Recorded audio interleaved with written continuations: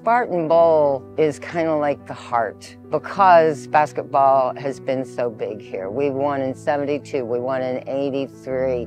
This is a basketball town, and it always has been. We take pride in Spartan Bowl. We take pride in our team and our coaches. I'm Sandee Snedeker Toschlog. I'm head coach of the Spartanette dance team. I was a Spartanette and a JV and varsity cheerleader while I was in school.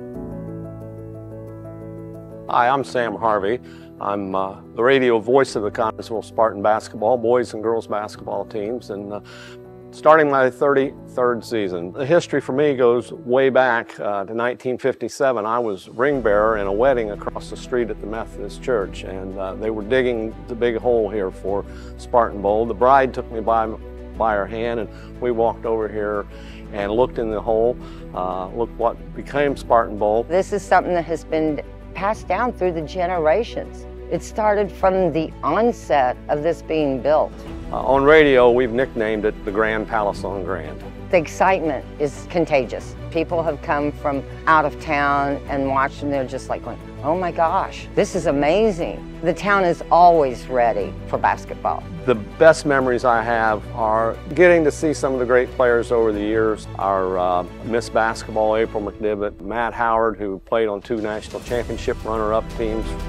This town supports our boys and girls basketball program, and it's, it's just uh, great to see that. Connersville can be playing out of town, but you can expect 2,000 fans to be there.